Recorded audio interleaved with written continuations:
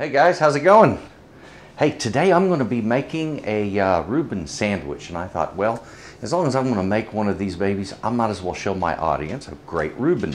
Now, I have just made my own pastrami here, and that's a whole different video. Make sure you check that out. Homemade pastrami, beautiful, ready to go on a sandwich. I just need to build the perfect sandwich. So I've also got some beautiful rye bread and Swiss cheese and Thousand Island dressing, some butter and sauerkraut. It's kind of interesting how so many really strong, intense flavors, when they're put together just right, can equal such a fantastic flavor. So that's why I wanted to show you this wonderful sandwich. If you've never made one, this is your chance to do it. They are surprisingly good, ladies and gentlemen. So once you've tried it, I think you'll end up liking it. Come over, let me show you the goodies, and we'll get busy making it right now. Okay, so I've got all of my ingredients here. I have some Swiss cheese. And for this, I like to use about two slices of Swiss. And that's just what I have right here. I have right here this uh, swirled bread. And this is Jewish rye and pumpernickel, and it's a great flavor with all of these other intense flavors. I'm going to butter it, and we're going to be toasting the outside in a pan. For the inside of the bread, I'll be using Thousand Island dressing on it, and of course some uh, some sauerkraut here. And uh, of course I've got one puppy at my feet because she expects to get some of this. So I'll tell you what, let's go ahead and just slice up some of this beautiful pastrami.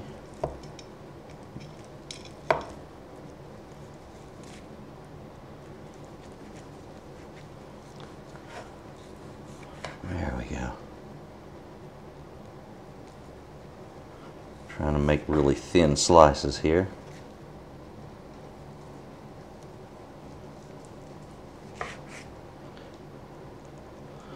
I had some of this last night after it was finished cooking up. And of course, it takes some time to make one of these, folks. It takes uh, a full week to make a good pastrami. All right, there we go.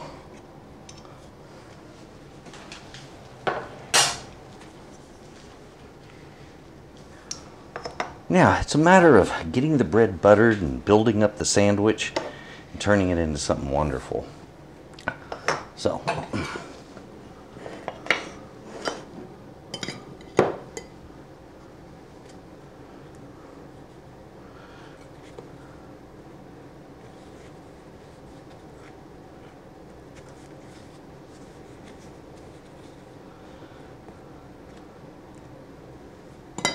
right. Now, this is the reason I have the paper towel out. Very clear, huh? So, a little bit of dressing on this.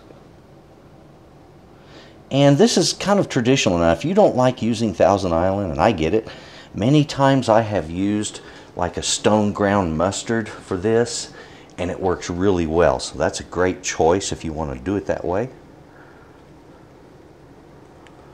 Here we go.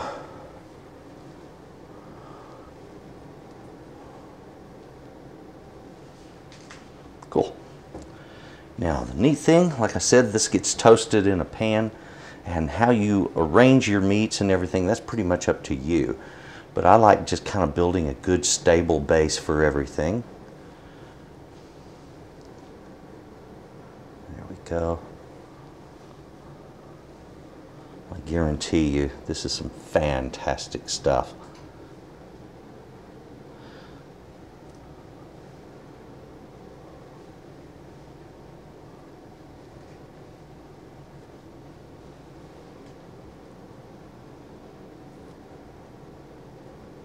There we go. Nice even layer there. Now my sour sauerkraut's already nice and hot. So it's ready to go right on there. And I try not to get too much sauerkraut juice, any liquid you might say, into the sandwich. So I like to pull some up to the top. Just kind of make sure I've squeezed it out real good. And that right there is going to be more than enough for an entire sandwich, just one good pinch. And it doesn't take a whole lot of kraut. Now, for mine, I love plenty. Some folks don't like it as much, so go light for those folks. But it's interesting how a flavor that a lot of people normally don't like, they will tolerate on this particular sandwich.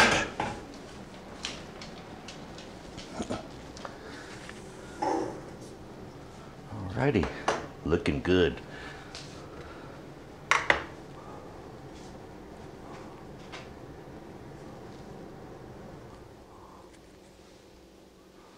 Go again.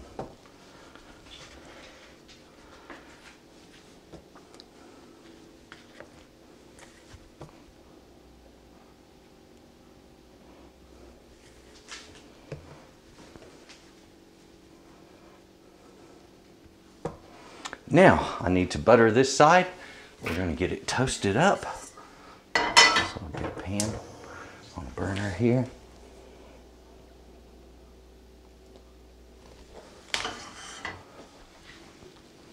And of course, there is no rush at this point. The pan is heating. And I don't want the pan too hot. I want it to toast this kind of slowly so that it gets the heat well up inside of the sandwich, all right?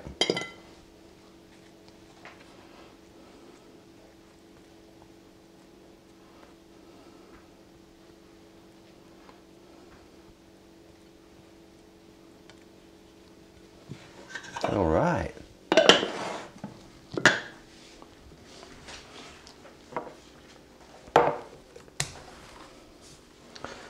A wonderful way to make a wonderful sandwich.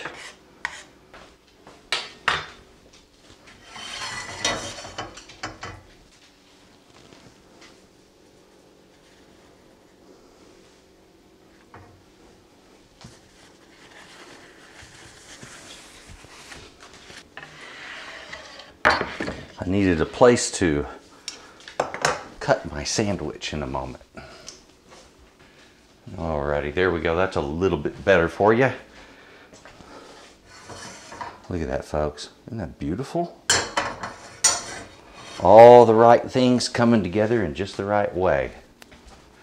Alrighty, now this has been cooking for a minute, and I think we're probably getting close to turning him over. So let's see if I can get that done without destroying it.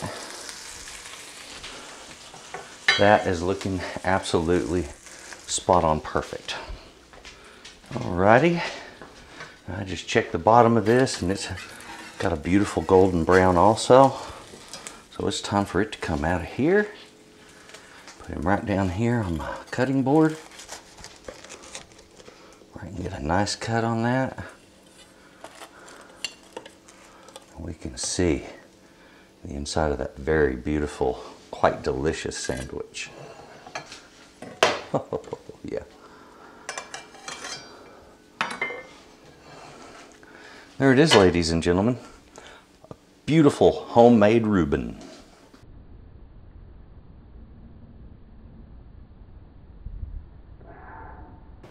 All right, well, there it is, folks. An absolutely beautiful and very delicious sandwich. Mm. You know, like I said, this harmonious blend of flavors. You toast that bread with a little butter. Mm.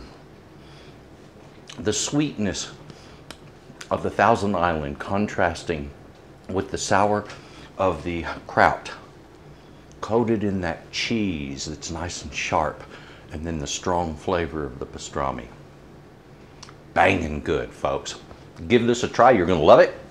And um, I'm going to love it too. Hey, do me a favor. Click the subscribe button. If you haven't subscribed, please click the like button, that thumbs up. That helps me in placements a whole lot more than you can imagine. It helps other people to get a suggestion for this video. So please do that and drop me a comment down below if you feel like doing it. I'd love to answer those when I get time. Thank you very much for watching. Folks, have a good day, okay? Lunchtime.